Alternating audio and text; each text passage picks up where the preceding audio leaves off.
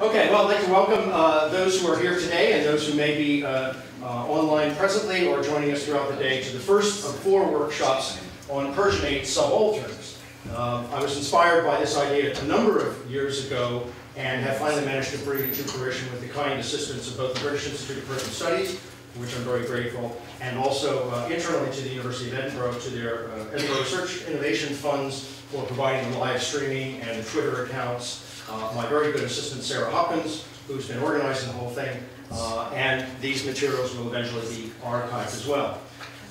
The first of these presents a particular problem. If we know anything about subaltern theory, that is basically non-elites, and its origins as a theoretical paradigm in both the Indian subcontinent, but also in the history of the low concept, which actually has its roots in 17th century English history, people like Christopher Hill and others who pioneered that idea of looking, looking up rather than looking down. Uh, these kinds of subaltern or non-elite voices are particularly difficult to recover, if you will, in pre-modern times when the majority of the population was illiterate.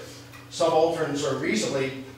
recoverable today, certainly they're quite vocal given the internet, but when it goes back to the populations of yesteryear, as it were, we only really have elite manifestations of cultural and other political and economic kinds of activities. And so it's quite difficult to recapture these voices. So the first of these is actually possibly uh, the most challenging in the pre-modern period, which I'm defining Persianate culture in terms of the pre-Safavid period.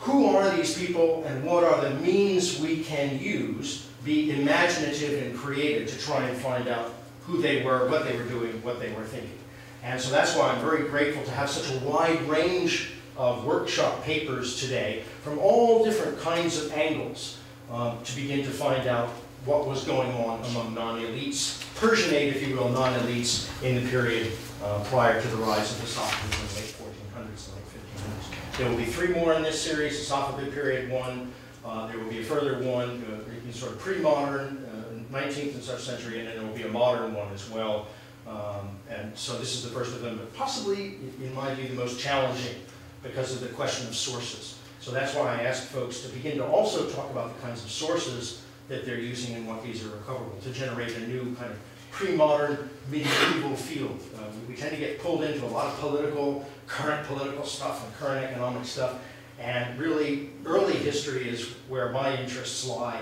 and so part of this project also is to recapture that interest, find some new sources for that I'm very pleased that our first speaker is Dr. Susan Babaie, and if you are ready to rock and roll, uh, we are ready to go.